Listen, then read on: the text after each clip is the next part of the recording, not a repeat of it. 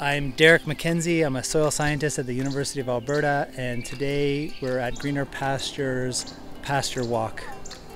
So, I came on the pasture walk today to talk about soil health. And in this area, uh, all of the soils are typically, or were before agricultural production, were orthic gray luvisol soil, so gray wooded soils in this area.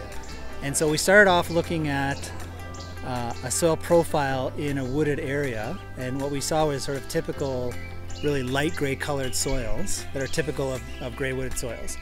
And then we went out into the pastures, and where we saw sort of rotational grazing and, and regenerative management, we saw uh, very well developed AH horizons that were, you know, light brown to dark brown in color, and five to 10 centimeters deep.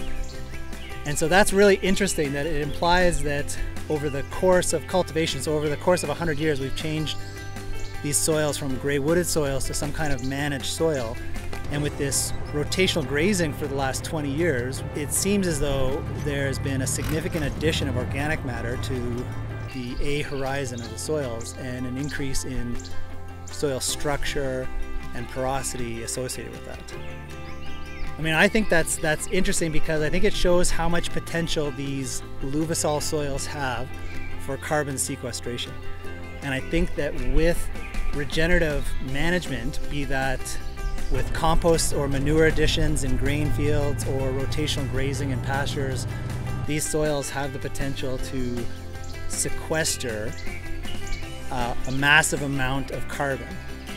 So going forward, I think we need data on this. We need to quantify all of the great anecdotal evidence that exists with our partner producers that have seen their soils change over the past 20 years of management, but we need to add experimental data to quantify those changes and to talk about what is the potential for carbon storage with, with regenerative management and how that can be used to mitigate climate change.